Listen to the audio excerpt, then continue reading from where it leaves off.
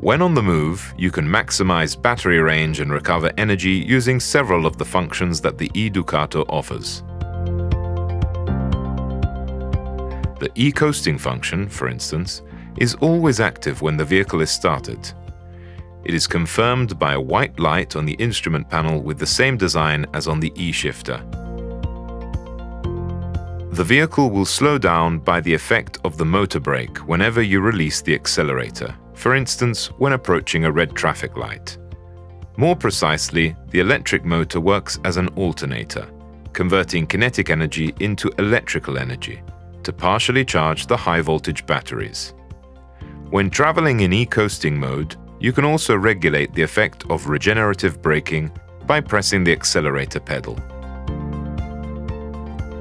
In e-coasting mode, the first 20% of the pedal stroke modulates deceleration and the regenerative force as a consequence.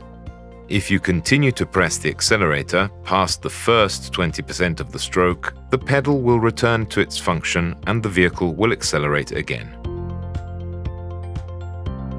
The e-coasting function can be deactivated by tipping the e-shifter leftwards for a couple of seconds.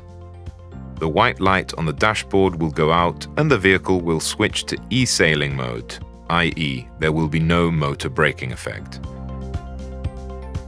In e-sailing mode, there will be no slowing effect due to motor braking, and there will be no regeneration of the high voltage batteries.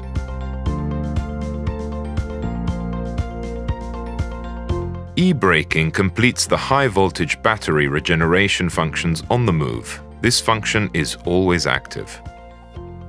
When you press the brake pedal, the motor will start to work like an alternator, converting kinetic energy into electrical energy.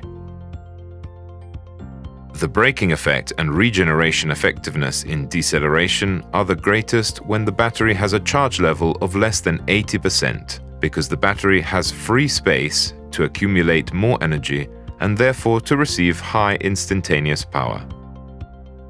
But what happens when the battery level of charge is low or one of the modules has been disconnected because of a problem?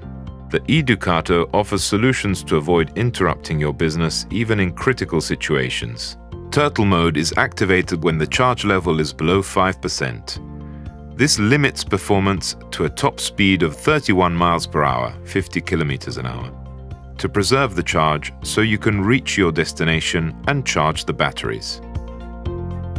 When one or more of the three or five battery modules are disconnected, the vehicle enters recovery mode so you can keep on going. The second module will appear in red on the additional display. Obviously, the range will be reduced, but you can finish your journey, depending on distance, without stopping the vehicle.